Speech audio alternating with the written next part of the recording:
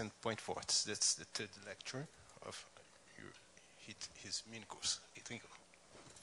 Okay, uh, so thank you.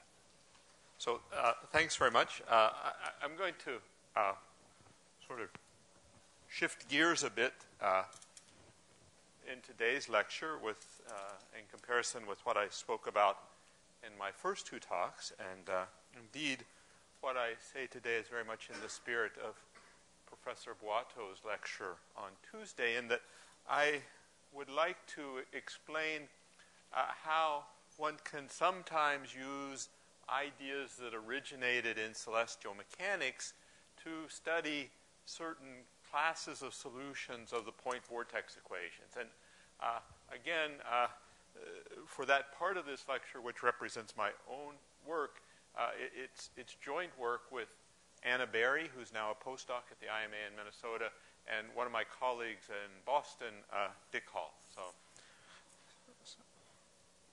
and uh, just uh, some references. Uh, so the paper of Anna and Dick and myself, and then for general references on uh, the N vortex problem, there's this very beautiful book by Paul Newton, and then finally something which unfortunately I hope to talk about, but I think won't there won't be time in the end with.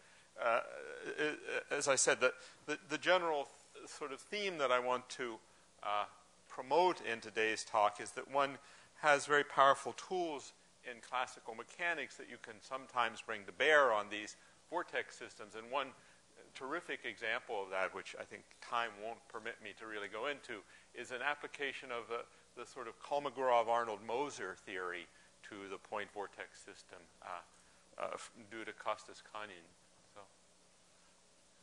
So, uh, we've seen these equations uh, on a number uh, of times already. So these are the equations, the ordinary differential equations, that describe the motion of n point vortices in a, an inviscid fluid. Uh, so we'll assign to each vortex its strength, gamma i, and then the location of the, the center of the vortex uh, moves according to this system of differential equations. And so let me, I probably want to re- refer to this, so let me write it here on the board. It, it turns out it, it's also very convenient to write these equations in terms of the complex variable z, which is x plus i, y, and then you see that uh, zi dot is just uh, 1 upon 2 pi sum over j not equal to i. Uh, I guess gamma j over uh, zi minus zj complex conjugate. Uh, that's probably true up to at least a sign. I mean, maybe there's a, a sign missing there. So, okay. So I think I think that's right up to the sign. So okay, so so we'd like to understand these uh, the solutions of these equations, and uh, again, as has been remarked on in a number of lectures this week, these equations are actually a Hamiltonian system. That is to say, if you take uh, the energy function in which uh, different vortices uh, interact according to the logarithm of the distance between them, then it's a very simple exercise to show that the equations uh, from the previous slide uh, have this Hamiltonian form. So, so uh, that suggests uh, using the, the tools of classical mechanics, and, and as we'll see, that at least in some instances, those can provide us with quite a lot of information. So, uh, as always, when talking about classical mechanics, it's a good idea to think about what Yes. Yes.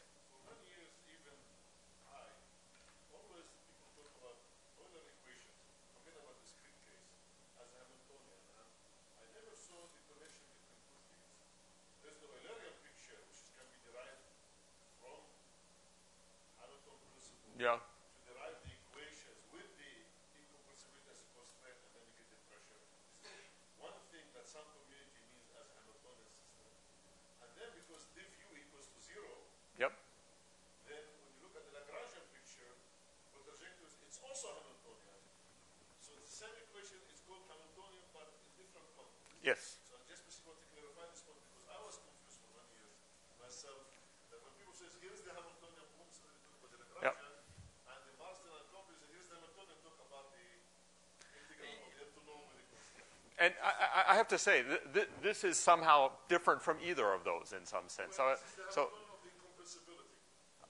uh, okay, so it, yeah, you're but it, it's a consequence of the fact that the, the vortices are advected by the, the velocity field of the other vortices, which, yeah, which is Hamiltonian. That's Yeah. yeah. So good. So very good remark. Yeah. So so clarification because I was confused for many years. I mean, like, why suddenly the Hamiltonian changing things? Yeah. No, very appropriate. Yeah, so very appropriate. So, um, so as I say, uh, so when studying classical mechanical systems, it's often a good idea to look for conserved quantities. So certainly the, the energy, the, the, the value of the Hamiltonian function is conserved along trajectories, at least as long as these uh, vortices don't collide with each other. And we've seen examples that show that that can happen. Uh, the, the, the analog of the momentum is the, uh, these quantities in the middle, and then uh, sort of an analog of the angular momentum, which is just the sum of the strength of the vortex times the square of its uh, displacement. Now, one uh, thing that causes quite significant differences in terms of the phenomenology of these vortex systems vis-a-vis, say, uh, the n-body problem of celestial mechanics is that, in some sense, the vortex strength is playing the role like the mass in these classical mechanical systems. And, and so the fact that you can have both positive and negative vortices uh, makes the, uh, be, po- gives you the possibility of, of finding quite different uh, phenomena than in the case where you only have positive masses, as is true for celestial mechanics. So, uh, again, uh, fact that's very uh, common in Hamiltonian systems is that if you uh, have a conserved quantity, that can allow you to reduce the effective number of degrees of freedom. And by using the uh, sort of conserved quantities on the previous slide, one can show that for systems of two or three vortices, uh, one always has uh, an integrable Hamiltonian system. And in fact, uh, for two vortices, we've already seen uh, exactly what the possible trajectories are in earlier lectures this week. So uh, uh, if you have, uh, well, e- except for the case in which you have two vortices of equal and opposite strength, in which case they move along a, a parallel line. In other cases, they'll just rotate with uh, fixed angular frequency about their center of vorticity. And in, uh, when you have three vortices, much more complicated types of motion are uh, possible, but still the system is uh, completely integrable. However, uh, there are actually rigorous proofs that for four or more vortices, the systems are not integral, integrable, and typically one can have extremely complicated uh, uh, motions of the system in those cases. Uh, nonetheless, even in these uh, sort of non integrable cases, uh, you often find there are sets of initial conditions, sometimes relatively large sets of initial conditions, for which the motion is regular. And, and so, one example of that uh, is the uh, uh, paper I alluded to earlier, in which one can apply uh, the Kolmogorov Arnold Moser theory to construct uh, sort of large sets of initial data for which one has quasi periodic motions of these vortices. Uh, now, as we remarked for the two vortex problem, the, the typical situation is that these two vortices uh, rotate around some common center with a fixed angular frequency. Now, uh, that's just a sort of elementary integration of the differential equations for two vortices, but it turns out, uh, surprisingly perhaps, that this is a very common phenomenon even when one has more than two vortices. Namely, uh, one sees many examples in nature in which one has a collection of vortices that rotate uh, with a fixed angular f- frequency, but in a rotating frame of reference maintain their relative separation. So, so one example uh, is actually uh, sometimes in a hurricane. So uh, again, uh, we've uh, it's been remarked on in earlier lectures that hurricanes are, are an example of vortex motion in two dimensional fluids. But in fact, very often uh, hurricanes have fine structure. And so uh, if you look here in the core of this hurricane, you'll see that uh, the core is not a uniform uh, region of vorticity, but in fact, there are, uh, in, in, this case, I guess, uh, five distinct sort of regions of vorticity within the core, and they, at least for uh, relevant timescales for the existence of this hurricane, that is to say, timescales of, of several hours, those uh, vortices just rotate in a fixed relationship to one another. So another uh, place where they, these are seen, these are actual experimental figures here. Uh, eh, th- these are sort of electron columns in a magnetic field. And if you uh, write down the equations of motion, you find that uh, these electron columns uh, move according to the same equations that describe uh, point vortices in an inviscid fluid. And, and so here again, these are different experimentally observed configurations uh, in which the uh, vortices rotate uh, with a fixed angular frequency while uh, maintaining this same uh, relative position relative to one another. Uh, the other thing I want to point out here, and this is also characteristic of many systems in which these things are observed, we have one sort of dominant vortex, one vortex which is much larger than the others, and then a number of smaller vortices. And so I'm going to focus in on that particular situation here in, in this talk. And, uh, and what, what I want to point out here, because this will come up later on, is that these, uh, these configurations seem, at least experimentally, to be stable, uh, uh, but they're definitely not symmetric. Okay. Uh, so, as I said, I, I, want to sort of stress the analogy with sort of classical mechanics, and in particular with celestial mechanics today, and, uh, and point out that uh, this situation where you have one vortex that's much larger than the others is uh, the, the analogous situation in celestial mechanics is very common, where you have one very large mass surrounded by a number of smaller masses. So we have many planets in the solar system with a, a large collection of small moons. You could think of this as some kind of idealization of a ring around a planet. Uh, so, so, uh, so uh, the analog of this situation of one strong vortex and a number of weak vortices has been very much studied in uh, celestial mechanics, and, and uh, people have developed uh, really uh, very powerful tools for analyzing these types of uh, sort of rotating configurations, and, and we'd like to uh, take those tools over and try to apply them in this point vortex context. And one thing that I, we'll see, I'll sort of give away the punchline here, is that the, the tools transfer very naturally, uh, but the predictions they make about the phenomenology of the system turn out to be very different. And so there's this, this nice uh, situation where you, you can carry over the tools, and uh, the, sort of the boring answer would be well, you take the tools over and you find the same thing in the point vortex system as in the celestial mechanics system. But it turns out you, you can take the tools over with no problems, but the predictions you make with those tools turn out to be, be very different. So, so there, uh, these uh, uh, systems that we're, we're going to study, in which we have a, an array of vortices that rotate with fixed uh, angular velocity while maintaining their relative separation, they're sometimes called vortex crystals. And there's one obvious one, uh, and that was sort of uh, the one that we saw in the hurricane, if you like, and that is you can take n vortices of equal strength and place them at the vertices of a regular polygon, and then that configuration will rotate with uh, fixed uh, angular velocity uh, if you choose the speed of rotation correctly. You can also, uh, and this will be relevant for our discussion, uh, add a, another vortex at the center of this polygon, and that additional vortex can be of the same strength as those at the vertices of the polygon, or it can be of different strength. And we'll want to look at the limit in which it's much larger than the ones at the vertices of the polygon.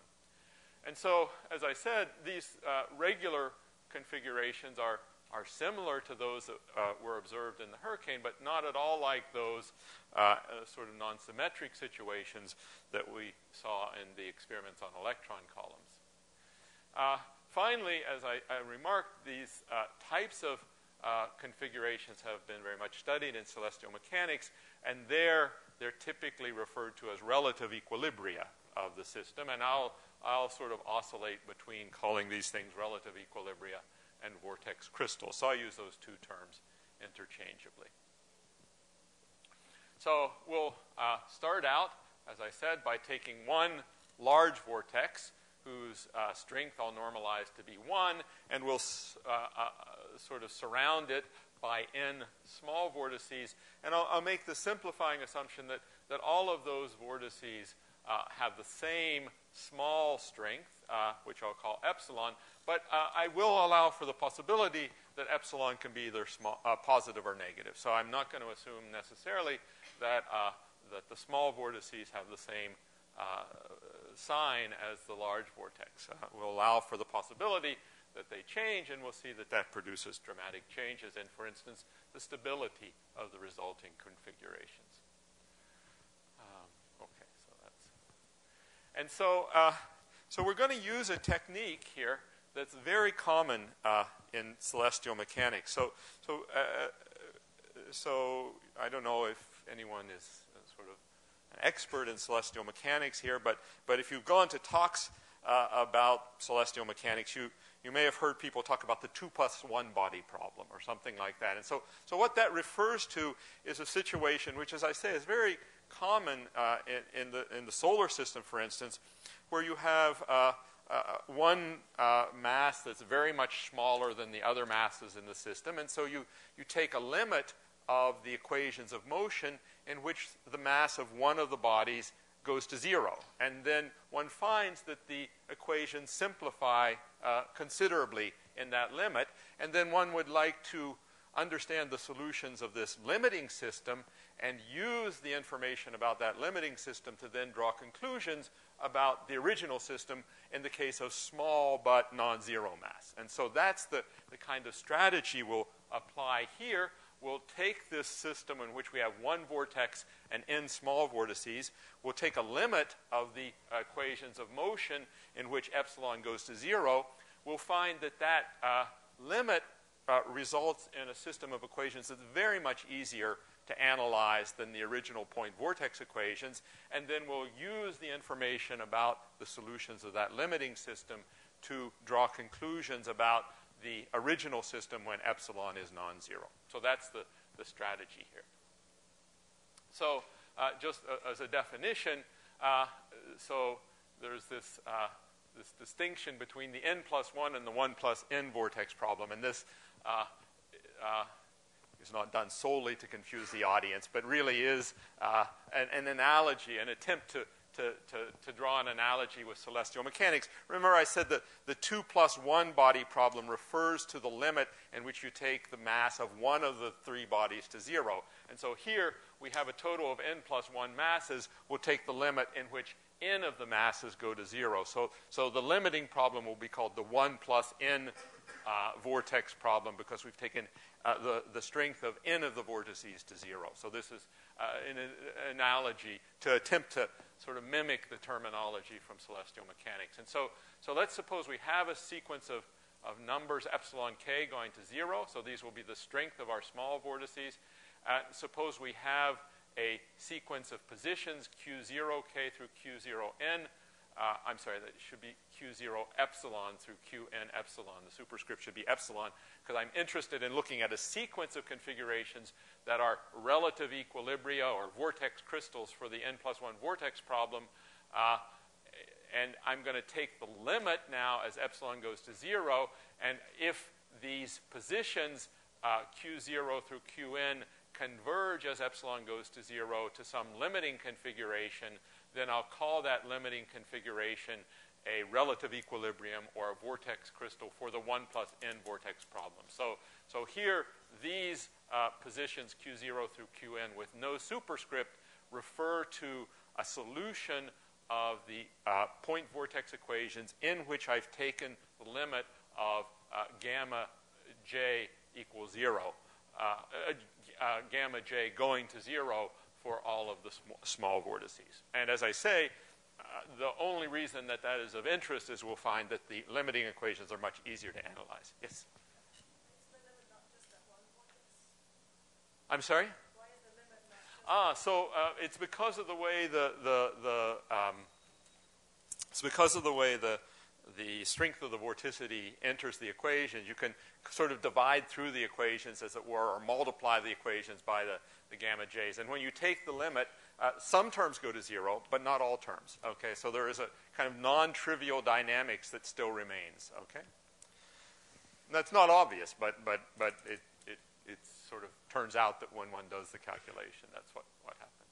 So, okay, and then here, as I say, the, the terminology here is really to try and uh, remind people of the analogy with uh, celestial mechanics. So uh, we can sort of normalize the angular velocity as it turns out.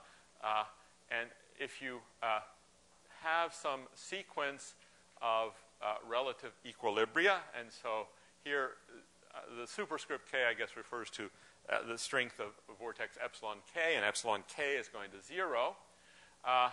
then, as I said, by rescaling the angular frequency you can rescale the angular frequency of any relative equilibrium to be 1 just by rescaling the relative positions of the particles. And, and there you just you can look at the equations and, and see that that's the case. Uh, and the uh, important remark is that if, if this family of relative equilibria converges as the strength of the small vortices go to zero, uh, then, and if you make the assumption that the vortices in the family don't collide in this limit, so you want them to be bounded away from each other, then uh, you can show without much difficulty at all, just by a kind of direct analysis of the equations, and I'll show this on the next slide, uh, that the uh, large vortex uh, converges to the origin. Uh, so I've chosen coordinates in which the center of vorticity is at the origin. So the large vortex will converge to the origin, and all of the little vortices converge to the unit circle. Okay, so they can position themselves around the unit circle in all kinds of complicated ways, but they all will converge to some point on the unit circle. And as I say, uh, that's a, a, very simple argument. So here I have taken the equations for the point vortices. I've rewritten them in a uh, frame of reference rotating with speed omega, so that's where this term comes from. And then I've used the fact that in this rotating frame of reference, the uh, relative equilibria or the vortex crystals are stationary, so the time derivative term just drops out. And so we see this is the equation for the large vortex, and as epsilon goes to zero, uh, this term drops out. Remember, we assume that the vortices don't collide, so the denominator is bounded away from zero. This term goes to zero, and so we see that C0 must also, the, the C0 is the location of the, the large vortex, it's got to go to zero, and a similar analysis for this second equation uh, shows that as epsilon goes to zero, this term drops out. We know that C0 is going to the origin, and so Cj must approach the unit circle. So a very sort of straightforward uh, argument here. Uh, okay. So, so the relative equilibria of the limiting problem, the 1 plus n vortex problem, all lie on the unit circle. And of course, now it's very easy to uh, parameterize points on the unit circle. We can parameterize them in terms of their angle with respect to some uh, fixed uh, axis, and that turns out to be the, uh, the key in identifying the uh, sort of relative equilibrium. Uh, relative equilibria for the limit problem. So, so now we're just looking at the equations for the limit case in which we took the strength of the small vortices to zero. And so the theorem is that uh, if you have some relative equilibrium for this limiting problem, and if you uh, express that relative equilibrium in uh, polar coordinates, okay, and that should be q sub n, not 1 sub n, sorry. Uh, if you express the location of the uh, vortices in terms of polar coordinates, then we know that the radial coordinate is going to 1, and so the only uh, real uh, variation occurs in the angular coordinates, and the angular coordinates turn out to be uh, a critical point of this potential function on the unit circle. And so uh, instead of having to analyze the dynamics of some system of two inequations in the plane, we can just reduce uh, the, the uh, search for relative equilibria, at least for the limiting equations, to looking for critical points of this function defined on the unit circle. And so that's a, a much, much easier task. Now, the, what the theorem uh, shows is that, says is that uh, if you have a uh, relative equilibrium of the limit problem, it's a critical point of this uh, potential function. The, the, the hard part starts when you want to go the other way to show that every critical point of this potential function corresponds to a solution of the, uh, the real equations with non zero epsilon. So that's where the work will start. As I say, the, the proof of this theorem is actually quite easy. You just use the fact that uh, for any of these relative equilibria, the, the velocity of the vortex has to be orthogonal to its position. And if you just take the dot product of the equations of motion, represent the resulting equations in polar coordinates, and take the limit as epsilon goes to zero, then you uh, find the uh, result of the theorem follows in a very straightforward fashion. So, as I said, the critical points of V are at least relatively easy to find, relatively rather, relative to the, the, the task of finding uh, sort of uh, critical points or stationary points of some system of equations in the plane. Um, as I said, every family of uh, relative equilibria of the n plus 1 vortex problem converge as epsilon goes to zero to one of these critical points, but it's not uh, really clear at this point that you can go backwards, namely, that you can conclude that every critical point of this potential function gives rise to a family of relative equilibria of the n plus 1 vortex problem. And so that's the next problem I'd like to tackle. Uh, so uh, clearly, the way we would, uh, or a natural way to approach this uh, question would be uh, to, uh, via the implicit function theorem, namely show that if you start from a a uh, solution of the epsilon equals zero case, you can use the implicit function theorem to conclude that problem with uh, small but non-zero epsilon also has a solution. Uh, for that to work, we'll need some kind of non-degeneracy condition.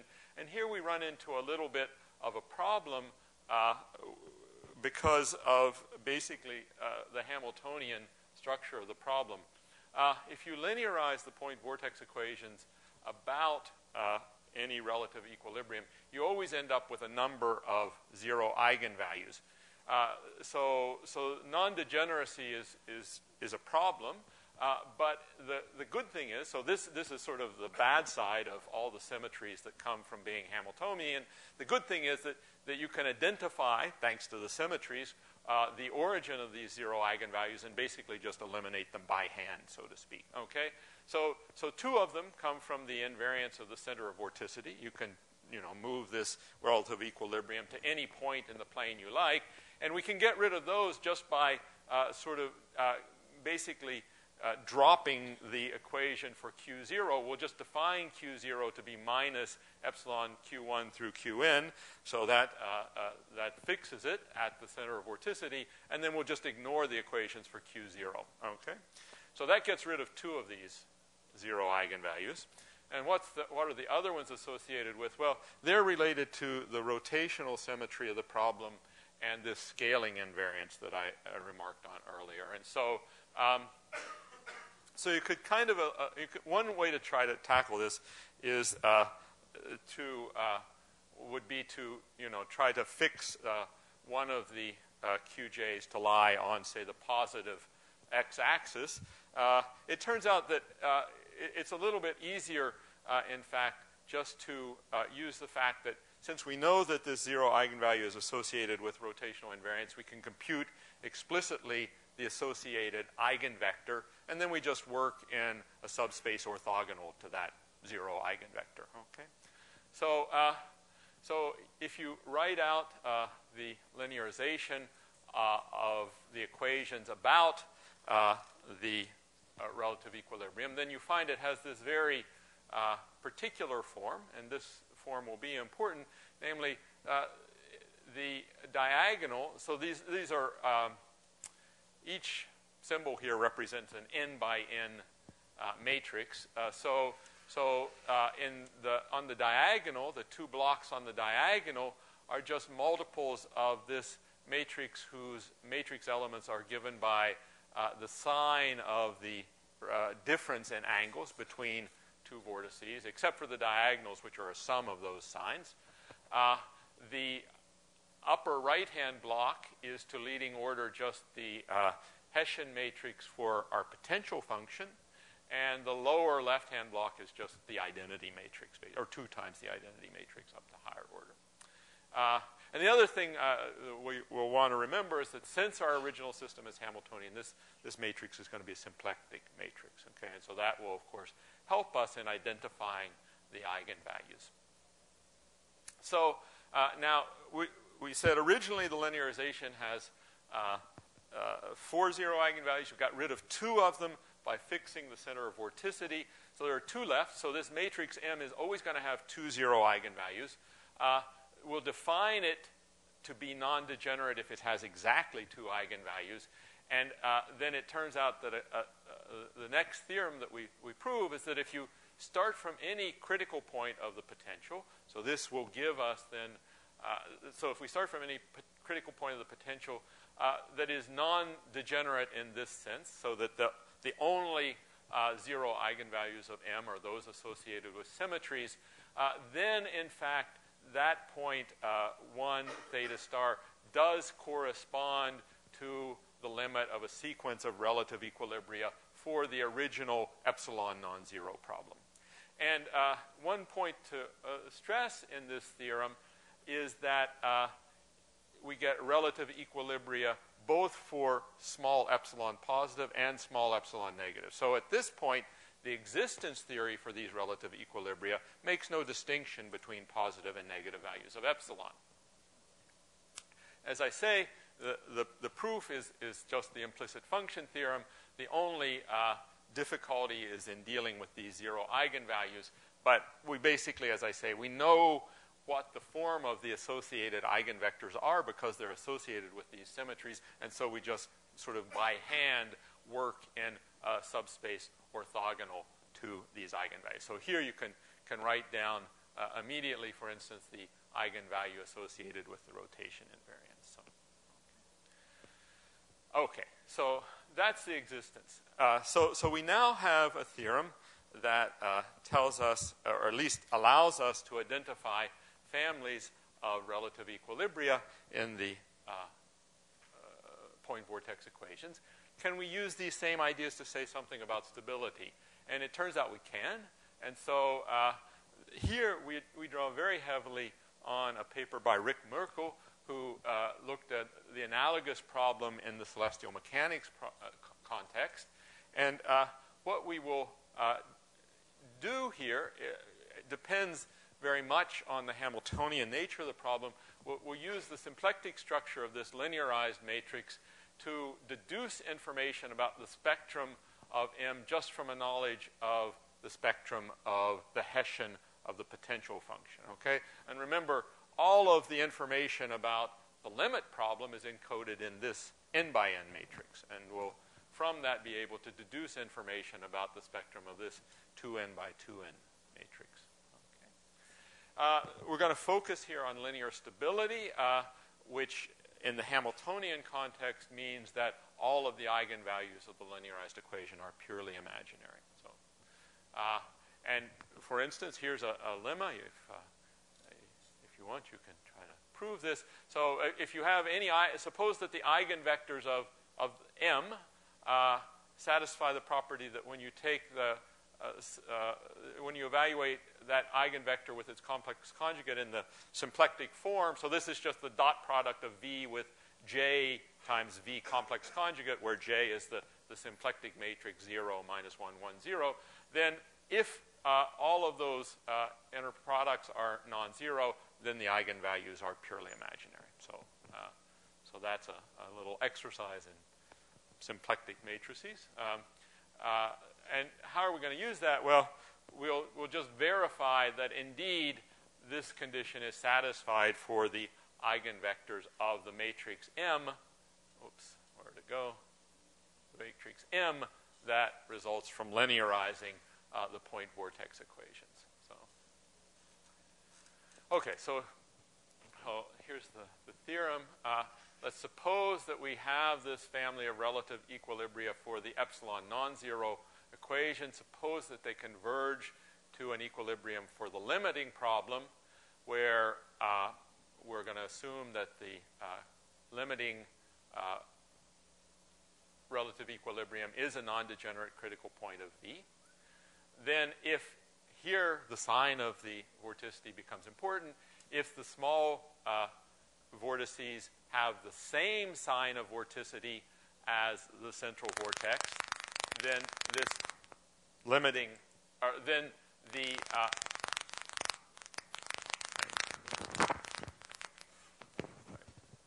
okay, maybe I. Okay, so if if the if the uh, small vortices have the same sign of vorticity as the central vortex, then the configuration, the relative equilibrium, will be linearly stable if and only if uh, the critical point of V is a local minimum. Conversely, if the small vortices have opposite vorticity from the central vortex, uh, the relative equilibrium will be stable only if uh, the limiting problem corresponds to a local maximum of the potential. So, so we can identify stability with the uh, properties of the associated critical point of the potential function V.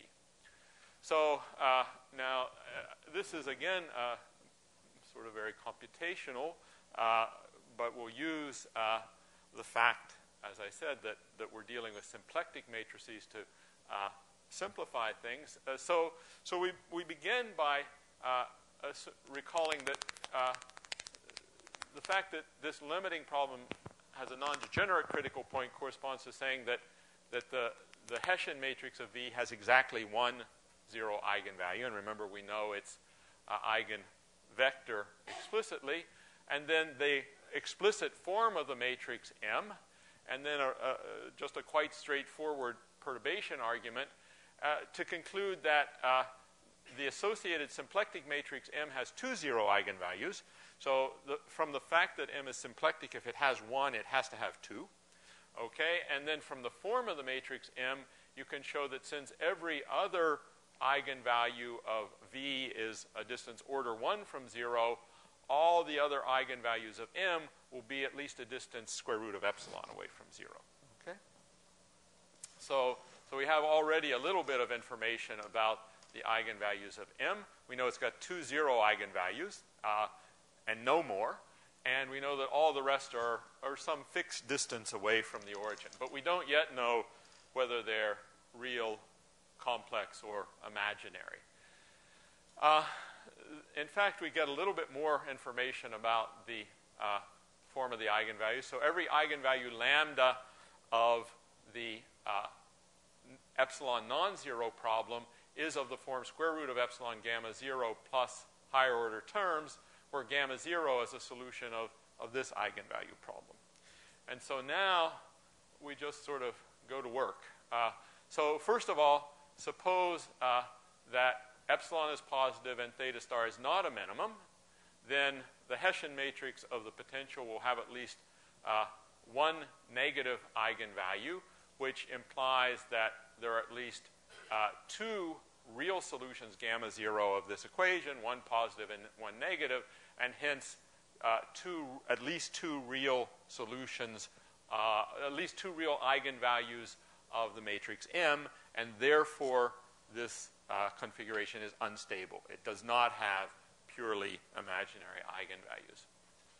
Uh, so, uh, so, except for a minimum, the relative equilibrium is definitely unstable. And so the only possibility for stability is if we have a minimum of V. So let's assume that that's the case.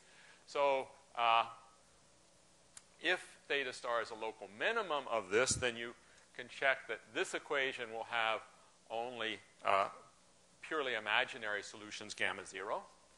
Uh, so if you then write out the corresponding eigenvalue for the, the full linearization M uh, and write out its uh, eigenvector as the radial and angular parts. Remember, I at some point said I'm going to work in polar coordinates, so I'm continuing to work in that representation. So, so then, just from the form of m and the eigenvalue equation, the first thing you see is that lambda times the radial part of the eigenvector is order epsilon, and so since we know lambda is order square root of epsilon, we conclude that the first component of the eigenvector is order square root of epsilon, and then you make a very similar consideration for the second component, and you find that the second component satisfies this equation. Uh, so uh, since VR is order square root of epsilon, then you see that V theta will be order 1. And so uh, in particular, if we normalize our eigenvector, V theta will just be 1 plus order epsilon. And so now you just go back and compute uh, the symplectic form uh, acting on V and complex conjugate of V using the fact that we know the form of all these eigenvectors to leading order, and it turns out that this inner product is just beta times square root of epsilon plus higher order terms, and hence, in particular, it's non-zero. Okay, and so since all of these inner products are non-zero, this general fact about uh, symplectic matrices uh, tells us that all of the eigenvalues of M are purely imaginary. And so that's how we conclude the stability of the configurations for epsilon non-zero. So, uh, so now let's uh, talk about uh, some of the consequences of this. And in particular, I want to just tell you a fact about uh, celestial mechanics. Okay, so celestial mechanics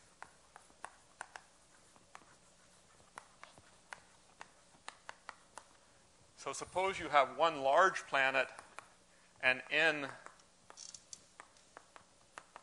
small planets rotating about it. Then, if n is greater than or equal to 7, there is only one relative equilibrium for this problem. Okay, there, so there's a unique relative equilibrium, and it's stable. So there's a unique relative equilibrium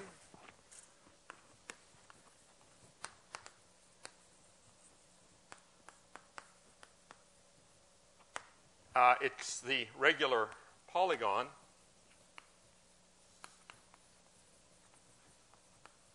And it's stable. Okay, so that's sort of relevant background information from celestial mechanics. So, what do we learn about the corresponding uh, n vortex problem? Well, uh, suppose n is greater than 4, uh, and suppose you uh, take your vortices, whoops, sorry, take your vortices and place them at the vertices of a regular polygon, uh, then that is a relative equilibrium. But just by very explicit calculation, uh, using the fact that this matrix V theta theta, or, or uh, using this, the form of this matrix V theta theta, you can show that it has at least one positive and one negative eigenvalue. So that's, that's just a very explicit calculation. Hence, uh, theta star is neither a minimum nor a maximum uh, for uh, V, and therefore uh, the corresponding solution uh, of the n vortex problem is not stable. Okay, so it is a relative equilibrium, but for no n greater than 4 is it stable. And so that's really a very dramatic difference from the corresponding problem uh, in uh, celestial mechanics. Uh, so that's how you do it. so, um, so I should say that uh, this fact was actually known earlier. Uh, it was proven by quite different uh, methods by Cabral and Schmidt uh, uh, more than 10 years ago now. however, this method using this limiting potential V tells us a little bit more because, okay, so the values of theta corresponding to a regular polygon are not the minimum of V. But it's easy to show that V does have a minimum and a maximum for that in, uh, uh, matter. So the next thing we learn is that uh, in contrast, again, to the celestial mechanics problem, we have at least uh, three families of relative equilibrium for any value of n uh, under some re- relatively mild non degeneracy conditions. And uh, so, so there is a stable relative equilibrium, but in fact, it's non symmetric. Okay, it's the, the vortices are not arranged symmetrically around the uh, center vortex, and that's sort of comforting because uh, we saw these experimental pictures of electron columns, and indeed, the experimentally observed configurations were not symmetric. And so, so this is in, uh, in keeping with what was observed experimentally. Okay, so now, uh, so that's kind of the end of uh, what uh, uh, Anna and Dick and I did. And so now let me just conclude by uh, mentioning a few sort of related and more recent results by, by other people. First of all, there's been uh, recent interest in, in looking at the limit as the number of uh, vortices become very large. And so there's a, a, a very recent paper by Chen Kolokolnikov and, and Zhirov uh, who, who, studied uh, sort of the limit in which the number of small vortices gets bigger and bigger. And they find that typically the, the stable configurations are kind of lopsided. So the, when the, the, the vortices don't get distributed uniformly around the center. And, and they've derived a kind of integral equation to de- describe the, the limiting uh, sort of density of vortices as n goes to infinity. Um, another situation, and, and uh, this uh, sort of connects up with Professor uh, Spirn's lecture yesterday. So, so these are experimental observations of vortices in Bose-Einstein condensates. And it's a little bit hard to see, unfortunately, but if you look at the original figures, uh, then you'll see in the, in the first two rows, one has configurations of three uh, sort of uniformly rotating vortices. And uh, in the third and fourth rows, one has configurations of four uniformly rotating vortices. Okay? And uh, the uh, model for the motion of these vortices is very similar to uh, the point vortices in uh, a, a, sort of ideal fluid. The, the only difference are, are, these two terms here. And uh, those are associated with the fact that, that these uh, systems are typically subjected to some kind of confining potential. So you don't, you don't want things running away out of your experimental uh, region. And so the, they impose some uh, additional confining potential, which gives rise to these two additional terms in the equation. Nonetheless, uh, these equations are still uh, Hamiltonian, and uh, so Anna and uh, Panos Kevrekidis have recently used methods very similar to those that I described to, to discuss the types of vortices that were observed for, for these quantum mechanical systems. Okay, so just to, to sum up, I, would like to argue that, that uh, we have available, thanks to celestial mechanics, a, a, large toolbox of methods that one could uh, try to apply in the study of, of the point vortex problem. Uh, that, at least in this example, we see that even when one can transfer very immediately the methods uh, from one situation to the other, the predictions that one arrives at can be quite different, even in the very basic physical sense.